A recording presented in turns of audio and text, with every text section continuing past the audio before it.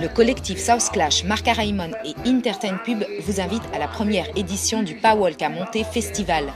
Mercredi 20, jeudi 21 et vendredi 22 mai, rendez-vous sur la plage de Lance-Figuier à Rivière-Pilote pour un grand rassemblement culturel, artistique, identitaire, philosophique, plurigénérationnel. Rencontres, dédicaces, conférences, débats, expositions et concerts à ciel ouvert. Ouverture du festival mercredi 20 mai avec l'exposition Maudit de l'artiste Christophe Maire à la galerie Arc-en-Ciel à Rivière-Pilote. Jeudi 21 mai, conférence débat avec de nombreux intervenants Malik Duranti, Juliette Smeralda, Serge Domi, Éric Pézo avec pour médiatrice Nathalie Joss.